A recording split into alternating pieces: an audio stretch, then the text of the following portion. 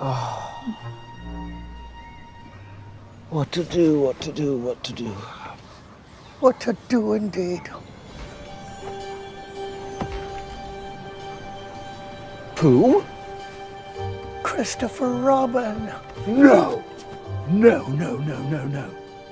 You, you can't be here.